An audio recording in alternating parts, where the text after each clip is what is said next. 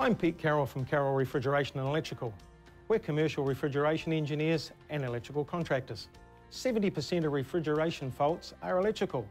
What makes Carroll Refrigeration and Electrical different is we provide the whole solution and we service the Greater Perth region.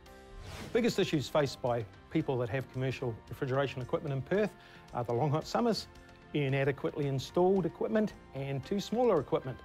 Carroll Refrigeration and Electrical can provide solutions to those problems and I'm going to show you some of those now.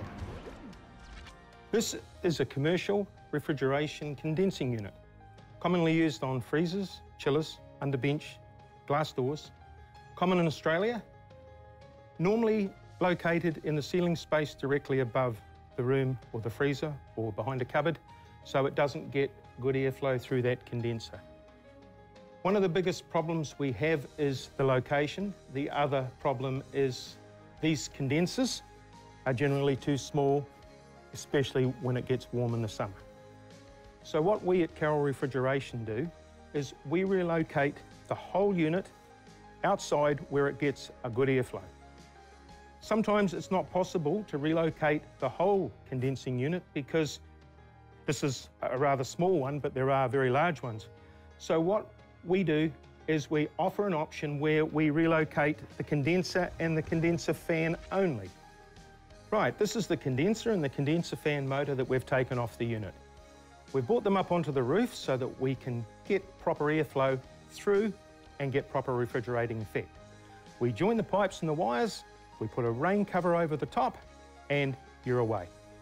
Now what we can also offer is if your condensing unit or condenser like this is too small on your existing unit, we can add a condenser and fan like this next to it to enhance its performance when it gets hot. It's not always necessary to change the whole unit, which costs an awful lot of money. So we offer that as another solution at Carroll Refrigeration and Electrical. There are other problems that can be associated with undercondensing. That's blocked and dirty condensers. Many of the condensers we come across have a film across them. They're not breathing properly.